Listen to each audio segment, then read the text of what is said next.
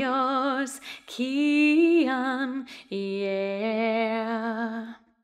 One happy birthday dot com.